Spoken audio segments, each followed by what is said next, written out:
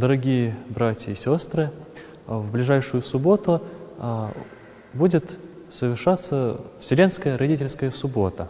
Вот, родительская называется, потому что а, в этот день мы вспоминаем ну, буквально своих родителей, да, вот. Имеется в виду а, и прародители, да, тех, кто а, уже а, отошел жизнь вечную, да, то есть кто ожидает воскресения мертвых, кто уже с нами здесь сейчас не живет.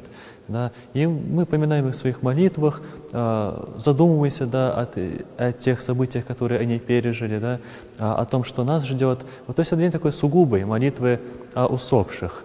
Потому что церковь всегда молится о усопших, да, и за каждой литургией, всегда за проскомедией, вот, на интерцессию, да, на, в анафоре поминаются всегда усопшие, да, те, кто нас уже оставил, наши братья и сестры, наши родители. Но вот дни родительских суббот, и в году несколько, это дни такого особого упоминовения, да, вот. И вот эта ближайшая суббота, Вселенская родительская суббота, она занимает, наверное, в ряду родительских суббот центральное место – да, их несколько. Потом еще на протяжении Великого Поста, начиная со второй недели, четыре подряд родительских субботы будут.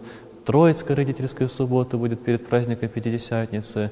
Вот, Дмитровская родительская суббота осенью перед памятью Дмитрия Солунского. То есть вот их несколько. Вселенская такая самая, наверное, яркая, самая э, центральная из них – вот, поэтому называется Вселенской. Собственно говоря, что нужно сделать в этот день? Да? Ну, самое главное, наверное, это причаститься святых христовых тайн, да, потому что недаром литургия в этот день служится. Вот, нужно прийти в храм, потому что наши отношения с нашими усопшими, с нашими близкими, да, с нашими братьями и сестрами, в первую очередь, да, в церкви, вот, они а, должны иметь такой характер беспрерывности. Да? То есть не то, что вот человек жил, да, умер, вот, и про него забыли. Бог о людях не забывает, и церковь, как э, тело Христово, она должна тоже помнить о тех, кто э, покинул церковь земную уже, да, перешел в церковь небесную в ожидании воскресения мертвых. Вот. И э, память о них, э, она вот заключается, наверное, в словах, которые мы в двух словах вот этих, которые мы пропеваем а, каждый раз, когда совершаем заупокойное литию или панихиду, вечная память, да, не светлая память, вот как иногда принято говорить там где-нибудь на застольном тосте, да, что вот там светлая память тому-то. Ну, светлая память, она э, мало что значит, да, ну, светлая значит какая-то радостная, да, что-то хорошее можно человеке сказать, вот, но не более того. Но именно вечную память церковь провозглашает усопшим своим, да, церковным, вот, потому что э, о нас, да, о наших родителях, прародителях, вот, помнит Бог, да, а память Божия, она имеет свойство вечности, потому что сам Бог вечен, да, и тот, о ком помнит Бог, тот вечен, да, то есть тот существует всегда, то есть память Божия, она вечна, вот, и, соответственно, э, память о человеке не прекращается. И память очень важна, потому что память, она приводит нас э, в бытие, собственно говоря, да, то есть когда Бог нас Словом Своим создал, и Словом Своим и храни, да, и Его Словом мы существуем. И если Бог забывает человека, то э, человека уже, можно сказать, что и нет. Да, и поэтому вечная память церковь провозглашает не свет, а именно вечная, да, что в вечности Бог помнит о нас и э, промышляет о нас, да, и нас не оставляет, наш Небесный Отец. Вот. И нам тоже нужно помнить, да, потому что мы образ и подобие Божие в себе носим, вот, и то, как мы живем, это такое маленькая, такая, можно сказать, миниатюра жизни нашего Небесного Отца, да, то есть наш, это подобие э, Его бытия маленькое такое, э, несовершенное, да, в силу нашего отпадения, в силу нашей тварности.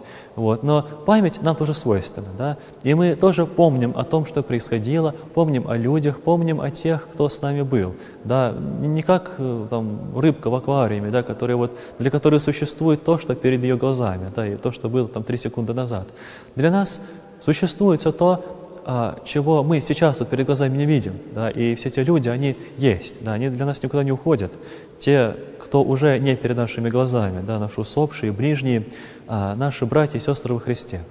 И поэтому вот на родительскую, на родительскую субботу мы собираемся на такое, можно сказать, свидание, да, свидание с Церковью Небесной, вот особое. Оно всегда совершается, но вот именно родительская суббота – это да не такого особого вот этого вот свидания с теми, о ком мы помним, да, и помним не только о том, что они были, да, то, что они есть. Вот, они существуют, да, и несмотря на успение, э, которое собственно говоря, и есть человеческая смерть, дает именно успение. Вот. Нас ожидает и воскресение, то есть восстание вновь. Да, как сон и пробуждение, также смерть и воскресение из мертвых, и вновь а, такое свидание лицом к лицу снова, да, с теми, кого мы потеряли. Вот. И мы с ними, когда встретимся, полагаю, что нам нужно будет что-то им сказать, да, и ведь они от нас тоже чего-то ждут. А, ведь недаром мы молимся об усопших, да, недаром мы молимся их упокоении, да, о том, чтобы Господь вселил их в места покойные, да, молимся не просто так, потому что от нас очень многое сокрыто из того, что ожидает нас за гранью смерти, да. Христос нам вполне однозначно ясно сказал, да, что нас ожидает по воскресении. Да, это страшный суд, это жизнь вечная. Вот. А вот, вот этот момент от смерти до воскресения, этот момент сокрыт от раз вот, мраком неведения нашего, да, вот. И есть какие-то догадки, может быть, да, вот есть там текст такой «Мытарство Феодоры», вот, такой очень э, мистический, неоднозначный, да, который пытается как-то описать вот, на основании какого-то мистического опыта э, какие-то вот мытарства, испытания, которые ожидают человека после смерти. Вот. Но в этом нет никакой уверенности, да, то есть вообще нет уверенности о том, как, что, вот, какая форма существования а, души человеческой, да, вот, в этот момент, и что вообще собственно говоря, душа здесь, да, потому что если мы а, рассматривать будем человека а, не в неоплатоническом, не в платоническом контексте, а в библейском, да, как человека как единое целое, как тело, да, вместе с его и с плотью, с жизнью, вот, то э, здесь существование души как чего-то отдельного вообще не рассматривается, да, вот, поэтому для нас это очень, много, очень сокрыто, да, мы не можем себе представить, что там происходит, да, в этот момент от смерти до воскресения. И поэтому так должны молиться, да, чтобы Господь именно упокоил, да, то есть дал покой э, тому, что существует да, от человека, э, приставившегося э, к иной жизни, да, э, а покоя человека, ожидающего воскресения. Вот, потому что покой этот э, нужен человеку, да, и э, мы тоже все всегда нуждаемся в покое, да, вот даже в нашей земной жизни. Но хорошо, когда нам спокойно, да, когда мы спокойны, значит, все замечательно. И поэтому мы вот спрашиваем это упокоение для наших ближних, для тех, кого мы любим. Выражаем этим свою любовь, да, потому что любовь — это тоже то, чему мы учимся, чему мы должны здесь научиться. И любовь выражается не только к тем, до кого мы можем дотянуться и дотронуться, да, она а, должна выражаться и по отношению к тем, кого мы а, потеряли уже да, из нашей земной жизни. Вот, и поэтому это наше выражение любви, наша молитва усопших. И по нашей вере да, Господь слышит наша молитва, потому что молитва любви не может быть не услышана.